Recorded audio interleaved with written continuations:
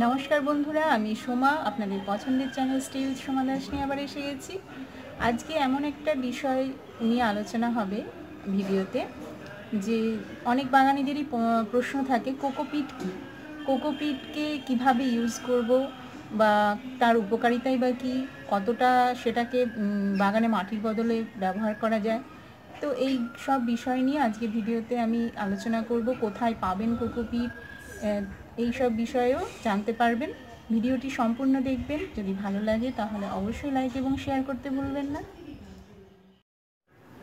বন্ধুরা, এই হলো কোকোপিট। কোকোপিট হলো নারকেলের যে ছোবড়া হয়, সেই নারকেলের ছোবড়াকে গুঁড়ো করে যেটা পাওয়া যায় সেটাকেই বলা হয় কোকোপিট। তো কোকোপিটটা কেন আমরা ইউজ করব? কোকোপিট হলো খুব হালকা জিনিস। এখন আমরা বেশিরভাগই মানুষ হচ্ছে ব্যালকনি এবং ছাদে বাগান করে থাকেন টবে।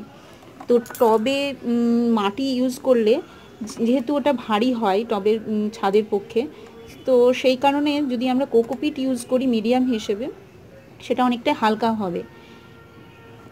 সেই কারণেই কোকোপিটটা আমরা ইউজ করি। তাছাড়া আরও একটা এর উপকারে মানে বিশেষ গুণ হচ্ছে কোকোপিটের জল ধারণ ক্ষমতাটা খুব বেশি।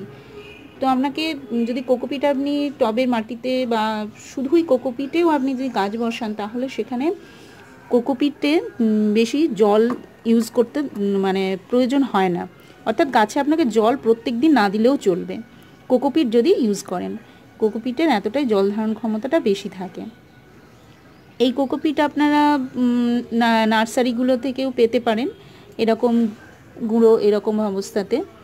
আর এটা একটু ভিজে আছে, কারণ আমি কোকোপিট ব্রিক অর্থাৎ কেকের মতন ওটা অনলাইনে কিনেছিলাম। ওটা এরকম গুঁড়ো পাওয়া যায় না অনলাইনে হচ্ছে ব্রিক পাওয়া যায়। তো সেই ব্রিকটাকে আমি কীভাবে এইরকম গুঁড়োতে পরিণত করলাম এবং কীভাবে হলো এটা, সেটা আমি দেখাচ্ছি এবং কীভাবে আপনারা সেটাকে স্টোর করবেন সেটাও বলছি। তার আগে বলে নিই যে কোকোপিট আমরা যে উপকারিতাটা দেখলাম, কিন্তু এর কিছু অপকারিতাও আছে। অর্থাৎ কোকোপিটকে আমরা যদি মাটির পরিবর্তে ইউজ করি, কিন্তু মাটির একটা নিজস্ব গুণ থাকে, যেটা খাদ্য গুণ গাছকে সাপ্লাই করে, গাছের প্রয়োজন মেটায়। এবং তাছাড়া আমরা মাটিতে তো গাছ বসালে সেখানে ফার্টিলাইজার ইউজ করেই থাকি। তবুও মাটির নিজস্ব কিছু খাদ্যগুণ থাকে, কিন্তু কোকোপিটে সেরকম কিছুই থাকে না। অর্থাৎ কোকোপিটে যদি আপনি গাছ বসান, তাহলে কোকোপিটে গাছের জন্য প্রয়োজনীয় খাবারটা পুরোটাই বাইরে থেকে আপনাকে প্রয়োগ করতে হবে। অর্থাৎ এখানে কোকোপিটের সঙ্গে যদি আপনি গোবর সার বা হচ্ছে ভার্মি কম্পোস্ট হাফ হাফ মিশিয়ে গাছটাকে বসাতে হবে। এই হলো কোকোপিটের একটা অপকারিতা। আরও একটা ব্যাপার, মাটির যে গাছকে ধারণ ক্ষমতা যেতটা গ্রিপিং পাওয়ারটা থাকে কোকোপিটে কিন্তু সেটা হয় না। অর্থাৎ বড় গাছ বসানোর ক্ষেত্রে আপনার শুধু কোকোপিটে বসালে গাছ হেলে যাওয়ার বা পড়ে যাওয়ার একটা ভয় থেকে যায়। সেখানে আপনাকে কিছুটা মাটি ইউজ করতেই হয়। আর কোকোপিট ইউজ করলে যেহেতু এর জল ধারণ ক্ষমতাটা বেশি, তাই আপনাকে খুব বুঝে জল ইউজ করতে হয় মানে গাছে দিতে হবে। তা না হলে কিন্তু গাছের গোড়া পচে যাওয়ারও ভয় থাকে। তাই কোকোপিট যদি ইনডোর প্ল্যান্টের ক্ষেত্রে আপনি দিয়ে থাকেন, তাহলে সেক্ষেত্রে আপনার প্রত্যেক দিন তো জল নয়, সপ্তাহে হয়তো একদিন দেওয়ার। এমনিতেই ইনডোর প্ল্যান্টের জল কম প্রয়োজন হয়। এবং আপনি যদি সেক্ষেত্রে যদি কোকোপিটে বসিয়ে থাকেন গাছ, তাহলে তো আরোই বেশি জল কম দিতে হবে। তো গাছে কোকোপিট টবে ইউজ করলে সেটা অবশ্যই বুঝে শুনে জলটা দিতে হবে। কিন্তু কোকোপিট খুব হালকা, তাই হ্যাঙ্গিং পট এবং আপনারা ছাদ বাগানের যে টব, সেখানে কোকোপিট আমরা এখন ইউজ করতে সবাইকে শুনে থাকি।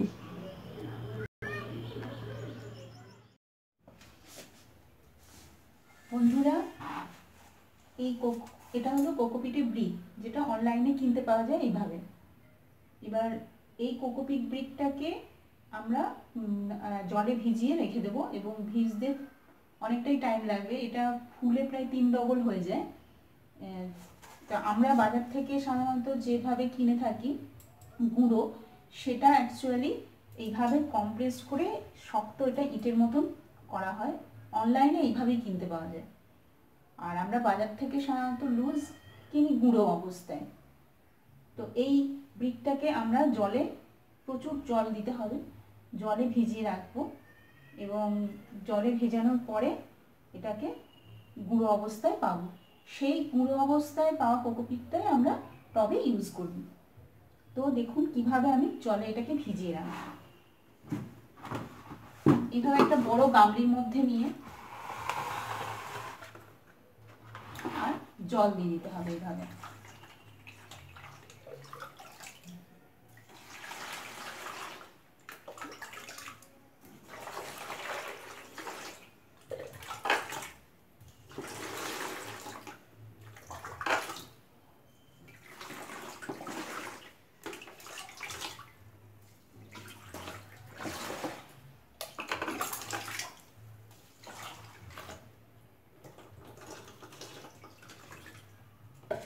এখানে প্রায় এক বালতি জল ছিল, সেই পুরো জলটাই দিয়ে দেবো। শুধু এক বালতি নয়, যখন এটা আরেকটু ভিজে যাবে, তখন আরও কিছু জল দিতে হবে। অ্যাকচুয়ালি এটা ফুলে এই গামলিটাও ছাপিয়ে যাবে। তো, এবং সেটা একটু টাইম লাগবে। পাঁচ, ছ ঘণ্টার বেশি টাইম লেগে যাবে, প্রায় একদিন মতন। এই দেখুন, একটু জল দেওয়ার ফলে কীভাবে এরকম গুঁড়ো হয়ে আসছে। এইভাবে এবং যখন গুঁড়ো হয়ে যাবে, পুরোটা এটা ভিজে গুঁড়ো অবস্থায় পেয়ে যাব, তখন সেটাকে আমরা বস্তায় করে স্টোর করে রেখে দেবো।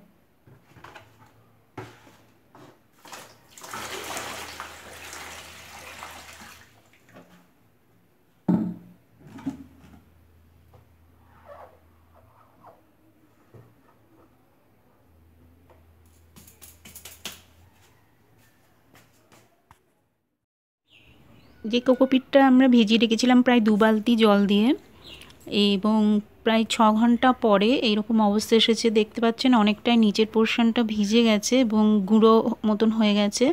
দেখুন, গামলার চারপাশে যেগুলো জমা হয়ে আছে, ওপরটাও যেটা মনে হচ্ছে ভিজে শক্ত হয়ে আছে অ্যাকচুয়ালি ওটাও নরম হয়ে হয়ে গেছে। গুঁড়ো অবস্থায় ওটা পাওয়া যাবে এবারে। আমরা এটাকে বস্তায় করে রেখে দিতে পারব। এইভাবে জলে ভিজিয়ে রাখলেই ব্রিকটা এইভাবে দেখুন, দশ কেজি যে চালের বস্তা হয়, সেই বস্তাতে আমি কোকোপিটটাকে এরকম যখন হয়ে গেছে, তখন আমি এই বস্তার মধ্যে ভরে রাখছি। এইভাবে রেখে দেবো। অনেকেই এটাকে রোদে দিয়ে শুকনো করে তারপরে বস্তা করে রেখে দেয়। আমি এভাবেই রেখে দিই এবং এটাকে আস্তে আস্তে নিজেই শুকনো হয়ে যায় বা একটু হালকা যে ময়েস্ট ভাব থাকে, সেইভাবেও আমি টবে ইউজ করতে পারব। এরকম আমার দুটো বস্তাতে এটা ভর্তি হয়েছে। অর্থাৎ পাঁচ কেজির একটা ব্রিক থেকে আমি প্রায় পনেরো থেকে, এটা দশ কেজি এটা দশ কেজি, প্রায় কুড়ি কিলো দুটো বস্তা আমার ভর্তি হয়ে গেছে। বুঝতেই পারছেন তাহলে একটা অনলাইনে পাঁচ কেজি ব্রিক কিনলে সেটাতে কতটা পরিমাণ কোকোপিট আপনারা পেতে পারেন। ভিডিওটা আপনাদের কতটা কাজে লাগল তা অবশ্যই জানাবেন কমেন্ট করে। আর ভালো লাগলে লাইক করে আমাকে উৎসাহিত করবেন। ভিডিওর কথা বন্ধুদের জানাতে ভুলবেন না যেন।